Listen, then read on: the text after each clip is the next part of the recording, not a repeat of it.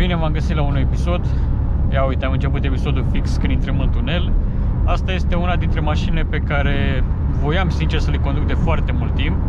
Este una dintre mașinile aduse la comandă și veți găsi pozele cu ea din licitație și din momentul în care a ajuns mașina pe Instagramul meu pe care l-aveți în descriere și totodată nu-mi pare să fac reclamă agresivă, dar dacă vreți să verificați o mașină pe car vertical pentru istorii de daune kilometri, puteți folosi linkul în descriere cu o reducere de 15%.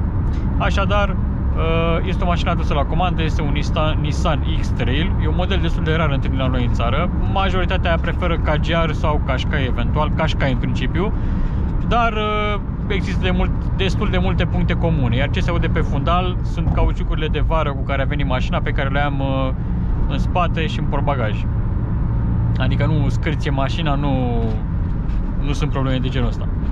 Așadar, Nissan X-Trail 1.6 diesel, distribuție pe lanț 130 de cai putere, 4x4, avem aici butonul pentru 4x4, uh, mașina este proveniență Italia, deci cum este foarte des întâlnit pe Italia, nu are încălzire scaune, are navigație, de aici se activează, mă rog, treci pe, pe hartă, Bluetooth, mă rog, te poți conecta, e o mașină 2016, adică are destul de multe cele dotări, în sensul că nu mai poți să vorbești de o mașină care nu are Bluetooth, conectare sau, nu știu, USB-uri, auxiliar și așa mai departe. Manual în 6 trepte, uh, pilot automat pe care o să-l și folosim cu ocazia asta. Sunt curios la o viteză de 140 la oră în treapta 6 mașina are undeva la 2500-2600 reture, ceea ce nu e chiar mult. Uh, consum ca și idee, pentru că o să facem un mic uh, preview, să zic așa, mai, mai târziu. Deci avem uh, o viteză medie de 50 de km la oră. Am plecat de vreo 200 de km de la Pitești și avem un consum de 5-6. Pentru o mașină 4x4, destul de mare, pentru că mi se pare foarte, foarte mare mașina asta, eu zic că e un consum bun. Uh, are și citire limită de viteze, ca și dotare. Uh, care este ideea cu mașina asta? Mașina asta este adusă la comandă pentru un client de la Oradea și am căzut de comun acord ca eu să duc mașina asta pe roți pentru că ăsta e oarecum și testul mașinii dacă este în regulă și dacă omul nu poate ajunge, pot să prestez acest serviciu. Deci, momentan, un consum de 5,5%, 5,6% chiar mi se pare un consum bun.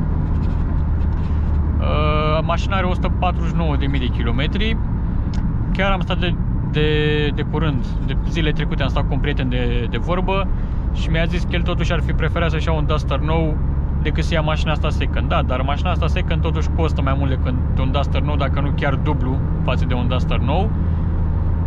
Într-adevăr, este probabil mai sigură decât un Duster, este mult mai mare, sunt mai multe dotări în versiunea standard, dar uh, cred că totuși nu ție un Duster nou cu cât a costat mașina asta și v-aș invita să ziceți și voi în comentarii cam cât credeți că a costat. Deci 2016 4x4, camere 360 de grade, uh, manual în 6 trepte, mă rog, pilot automat, mai sunt aici diferite dotări, soft close la Haion. E totuși un Nissan, adică nu te aștepta să ai extrem de multe dotări, dar sincer sunt surprins de faptul că mașina merge foarte bine.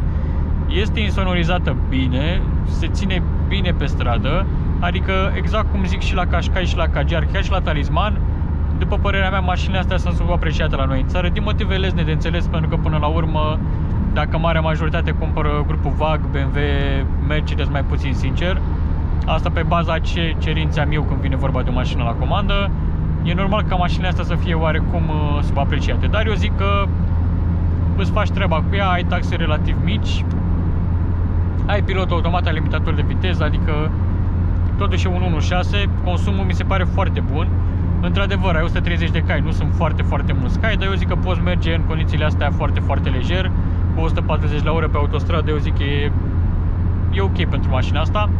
Totodată, mașina dispune de diferite sisteme de siguranță, avem lane assist și frânare de urgență, se poate selecta de aici din, uh, din meniu.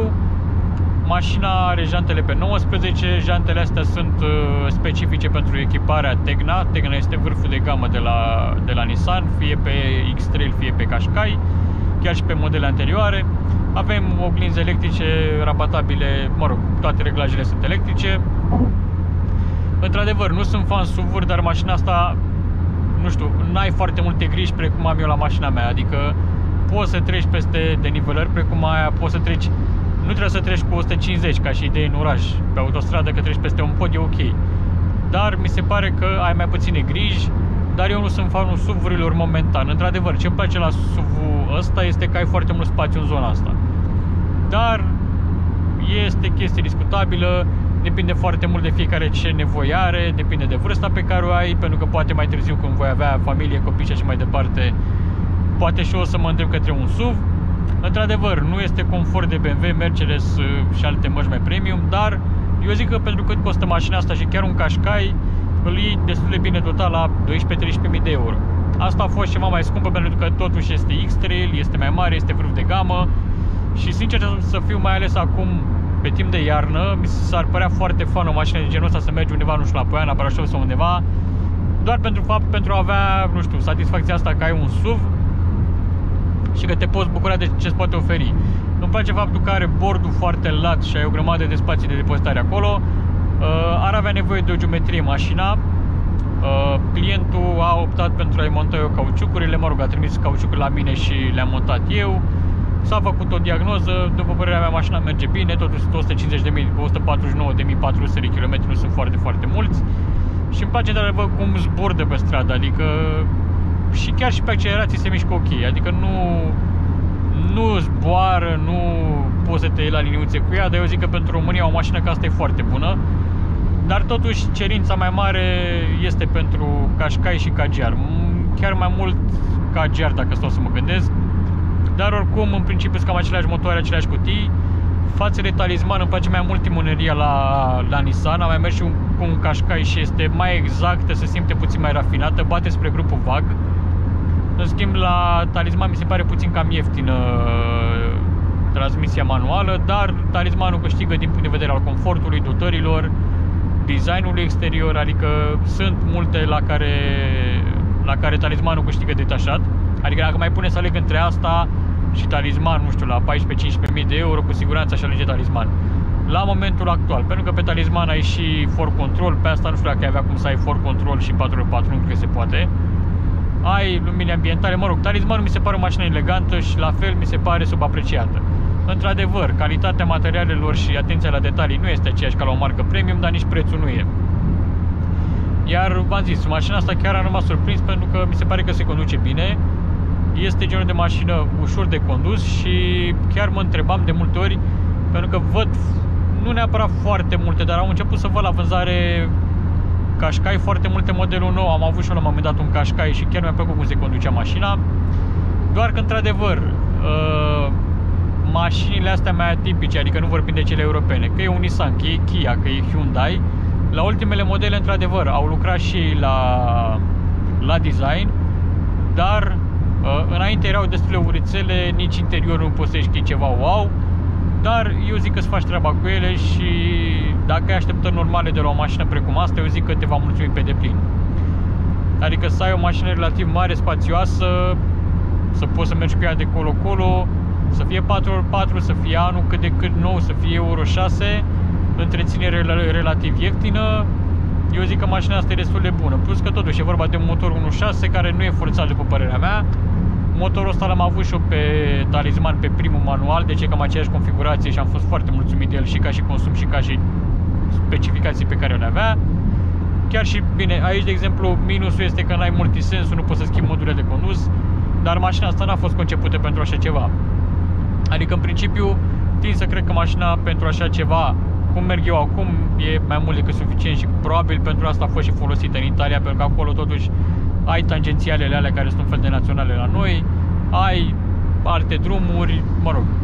Dar uh, un avantaj e că mașina nu are AdBlue și într-adevăr știu că foarte multă lume zice că mașina asta, păi 1.6 pe dita mea mașina, mașina are undeva la 1.600 dacă nu mă înșel și chiar își face treaba bine, adică motorașul ăsta chiar mișcă mașina și să știți că în general, nu știu dacă ați urmărit pe Adesa, pentru că eu de acolo îmi formez păreri de cele mai multe ori, sunt foarte multe Kajar, Qashqai, Talisman, 1.5 diesel, 210 cai.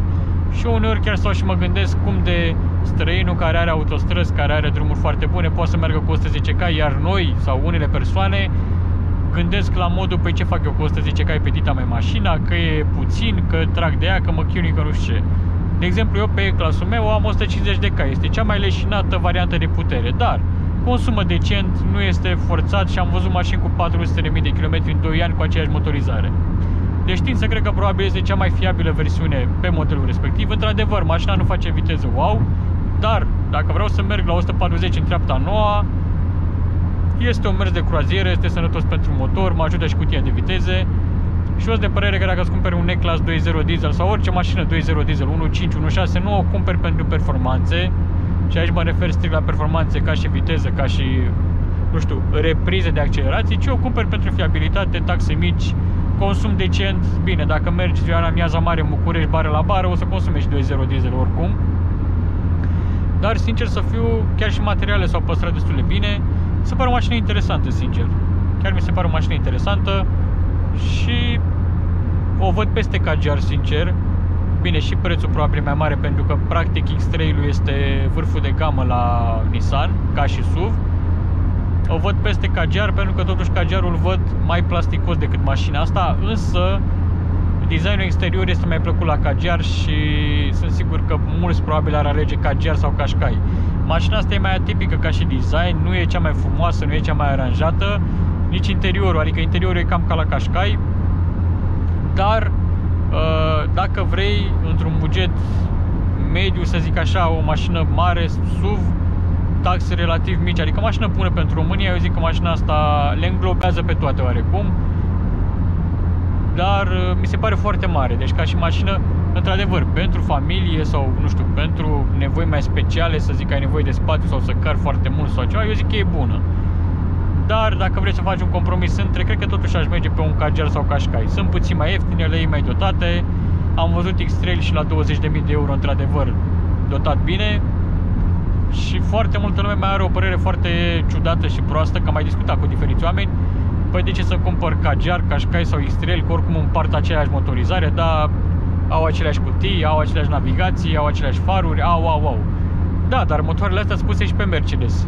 Bine, acum, din câte știu, nu se mai pun, dar ca idee. Dacă s-au pus pe Mercedes și cei de la Mercedes nu au mai vrut să investească în tehnologie să cumpere un motor de la zero și chiar dacă n-ar fi ăsta adevărul, să zic așa, totuși sunt puse pe o marcă premium care n-ar pune orice pe mașină. Chiar dacă e vorba de B-class, C-class, A-class. Chiar dacă e vorba de ele, eu zic că nu le-ar pune degeaba. Așadar, dacă aveți un Nissan în familie, că e X-Trail, chestii Qashqai, eu de exemplu de Qashqai am fost mulțumit și nu cred că are ce probleme să aibă 1.5 deci ăla care e foarte fiabil ca motor. Dar, repet, nu ai cum să ai și putere, și cai, și cuplu, și să tragă grav, și consum mic, și fiabilitate. Nu. Personal, unul dintre cele mai fiabile dieseluri este cel de la Renault 1.5 DCI, care, la fel, foarte multă lume este indignată de faptul că motorul ăla este pus și pe Megane, și pe Talisman, și pe Qashqai, și pe Kajar, și pe X-Trail, și pe alte mașini. Eu zic că este pus pentru că e bun și este fiabil. Și până la urmă, dacă mergi în condițiile astea sau mergi în afara orașului sau vrei o mașină de navetă, eu zic că îți poți face treaba cu 110 cai, 130 de cai fără probleme.